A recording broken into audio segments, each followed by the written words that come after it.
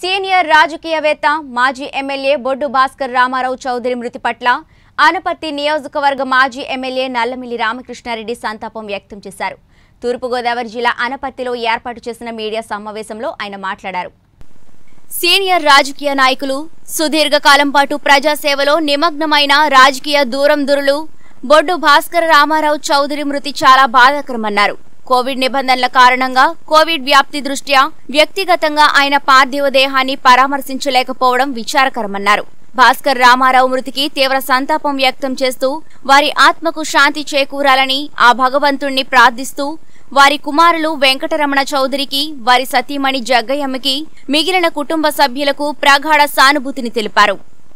రాష్ట్ర ప్రణాళిక మండలి ఉపాధ్యక్షుడిగా శాసనమండలి సభ్యుడిగా అనేక పదవులు నిర్వహించి సుదీర్ఘకాలం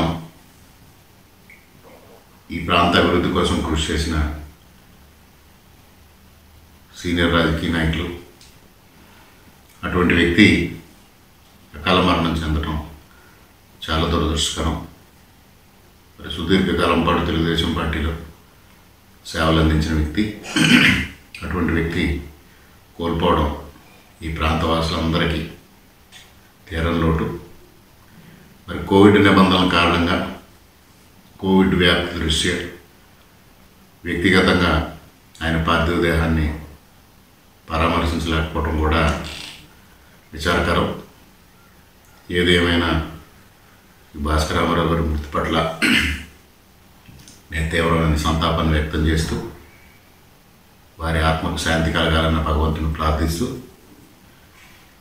వారి కుమారులు వెంకటరమణ చౌదరి గారి వారి శ్రీమతి జగ్గయ్యమ్మ గారికి మిగిలిన కుటుంబ సభ్యులకు అందరికీ నా ప్రగాఢ సానుభూతిని తెలియజేసుకుంటా ఉన్నాను.